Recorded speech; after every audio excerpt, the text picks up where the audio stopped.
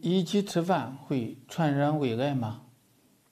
由于癌症对个人和对社会的影响都非常巨大，而且现在在周围人群中或者在家中都会接触到致癌的患者、癌症患者，所以就会有人担心：如果经常和癌症患者接触，会不会自己也能患上癌症呢？有些人会有这样一种想法，想当然地认为，癌症患者体内有癌细胞，癌细胞那么强大，会不会把患者传染给健康的人呢？当然不会。这要从癌细胞的产生说起。每个人体内都有原癌基因和抑癌基因，原癌基因。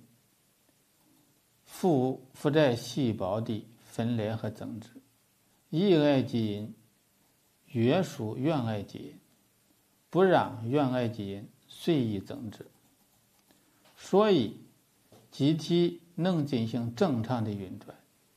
当人体受到外界一些致癌因素的刺激，原癌基因激活，它不再受抑癌基因的控制。从而导致癌细胞的生成。其实，胃癌本身是不会传染的，但是在胃癌发病前，有些人是感染了幽门螺杆菌的。幽门螺杆菌在一起吃饭，确实会造成传染。原因是幽门螺杆菌属于粪口传播，当感染了这种。病菌的人吃了饭时，他的唾液沾在菜汤里，那么就可能把这种菌传递出去。如果对方免疫力不强，被感染可能会导致胃部疾病。如果没有及时的治愈，可能会发展成为胃癌。总结一句话：癌症是不会传染的，病毒。